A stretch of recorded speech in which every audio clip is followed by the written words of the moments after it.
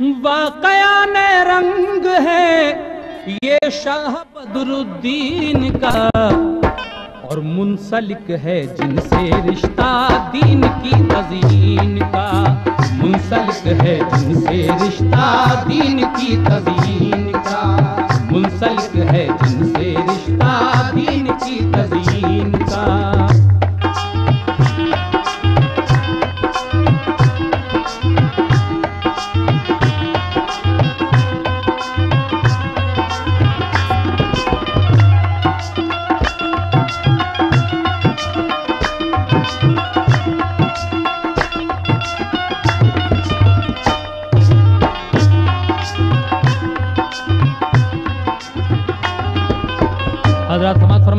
यहाँ से ये वाक्य शुरू होता है। किस तरह? छोटे हैं सरकार ये, हज़रत बड़े सरकार से। फैज पाता है जमाना इनके सच्चे प्यार से। इनकी ये ज़िंदा करामत सच है मशहूर जहाँ। मोतकद इस पर बदायूं, का है हर खुर्दो कला। एक दिन बैठे थे ये एक मजलिस अहबाब में। गमजदा एक शख्स आया हालत बेताब में। शाह बदरुद्दीन की खिदमत में वो हाजिर हुआ। उनको रो रो कर सुनाया अपने दिल का मुद्दा देख कर उस शख्स को चौंके ये बदरुद्दीन शाह की बड़े ही प्यार से उस पर इनायत की निगाह। शख्स वो हज़रत से बोला, ऐ मेरे पीरों के पीर, मेरी मुश्किल का बता दो, हल कोई रोशन जमीर। मेरी मुश्किल का बता दो, हल कोई रोशन जमीर। मेरा एक बेटा था नाबालिग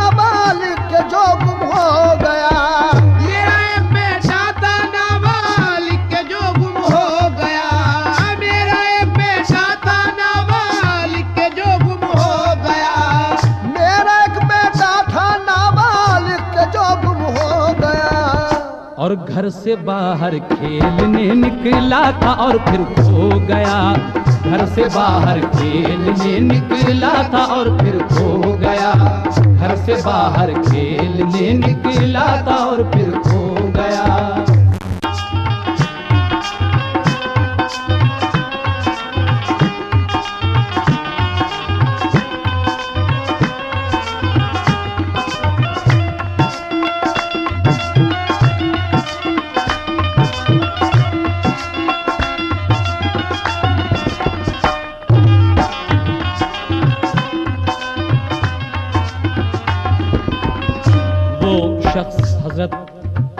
सरकार से कहता है कि हुजूर मेरा एक नाबालिग बेटा घर से बाहर खेलने के लिए निकला था और न जाने कहाँ गुम हो गया है। मैं बहुत ही ज़्यादा परेशान हूँ। हज़रत मेरी मुश्किल को आसान कीजिए। उसके बाद क्या होता है? सरकार क्या कहते हैं उस शख्स के समाज फरमाएँ एक अरसा हो गया, हज़रत परेशानी में हूँ। ये पे हमसे गम की अश्क अफशानी में हूँ। माँ भी उसकी हो गई है। गम से रो रो कर निढाल अपने बच्चे की जुदाई। में बुरा है उसका हाल। कुछ खुदा के वास्ते उसका पता बतलाइए। हम बड़ी आफत के मारे हैं, करम फरमाइए। हम बड़ी आफत के मारे हैं, करम फरमाइए।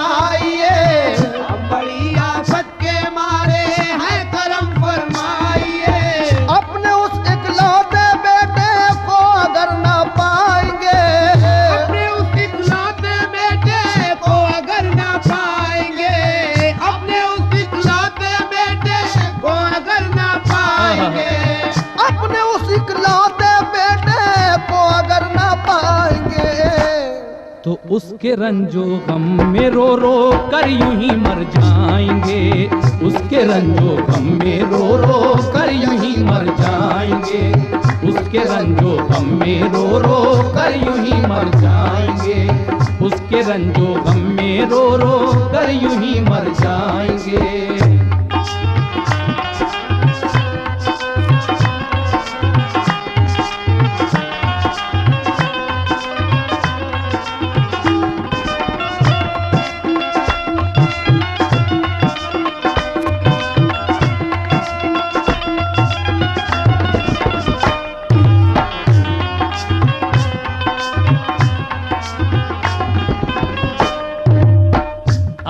इकलौते बेटे को अगर ना पाएँगे, उसके रंजो गम में रो रो कर यूँ ही मर जाएँगे। वो शख्स कहता है तो सरकार बदरुद्दीन शाह विलायत साहब क्या कहते हैं? उस शख्स से समाप्त कीजिएगा।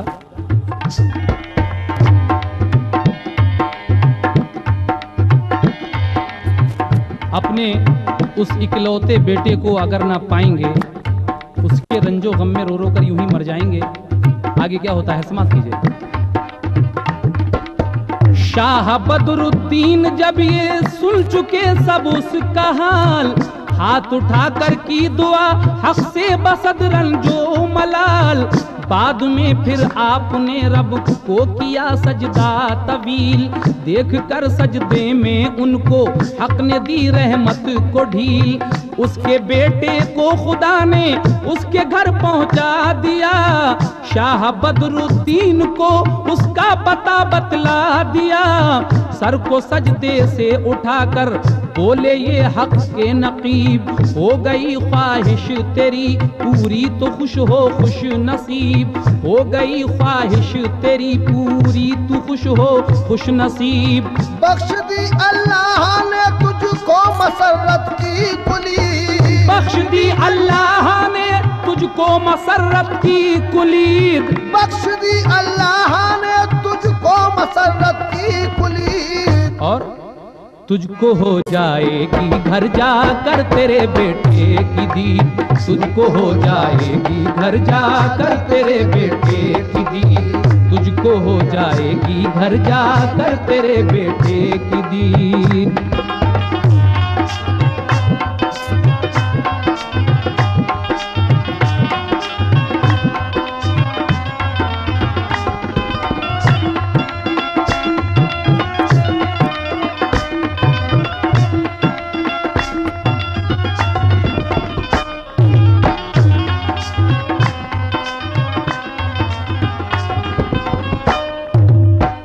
सरकार ने रब ताला की बारगाह में तवील सजदा, एक लंबा सजदा किया। आप का ये सजदा देखकर हक ताला ने अपनी रहमत को ढील दी और उस लड़के का पता आपको बता दिया। आप सजदे से सर उठाकर उससे कहते हैं कि जा आप तू घर चला जा। इंशाल्लाह, घर जाकर तुझे तेरे बेटे की दीद नसीब हो जाएगी। उसके बाद क्या होता है? वो शख्स किस तरह अपने घर जाता है और क्या देखता है? सुने। अब खुशी से तू उछलता, कूदता घर अपने जा।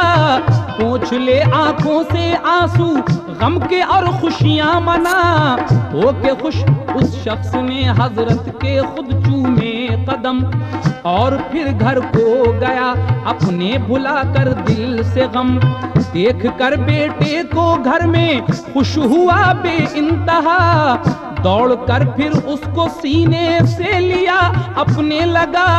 दौड़ कर फिर उसको सीने से लिया अपने लगा। लग गया चारों तरफ़ से आके लोगों का हुजूम। लग गया चारों तरफ़ से आके लोगों का हुजूम। लग गया चारों तरफ़ से आके लोगों का हुजूम। तो लग गया चारों तरफ़ से आके लोगों का हुजूम।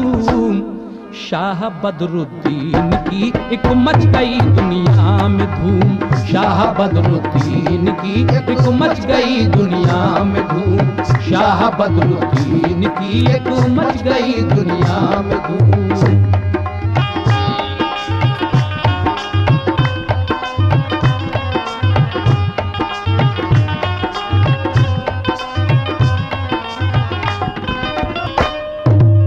घर जाकर जब वो इंसान अपने बेटे को पाता है अपने घर में तो बहुत खुश होता है। और सबके सामने ये कहता है कि मैं शाह बदरुद्दीन साहब की खिदमत में ये अपनी इल्तिजा लेकर गया था। उन्हीं की दुआओं से ये मेरा बेटा घर आ गया है। हज़रत शाह विलायत की दुनिया में धूम मच गई और आगे क्या हुआ, आखिरी बंद मुलाजा फरमाइए।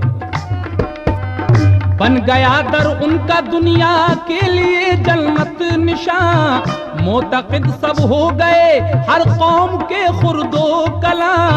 गम के मारे बंदगाने हक यहाँ आने लगे। आस्था से इनके फैजे बेकरा पाने लगे। मरहबा सद मरहबा, पीरों का ये जाहे हशम। देख कर जिनको लरज जाते हैं शाहों के कदम। देख कर जिनको लरज जा जाते हैं शाहों के कदम। देखकर जिनको लल जाते हैं शाहों के कदम। मस्त होकर बाद इरफा के रंगी जाम से। मस्त होकर बादे इरफा के रंगी जाम से। मस्त होकर बाद इरफा के रंगी जाम से। जगमगाता है बदायूं शहर उनके नाम से। जगमगाता है बदायूं शहर उनके नाम से। जगमगाता है बदायूं शहर उनके नाम से।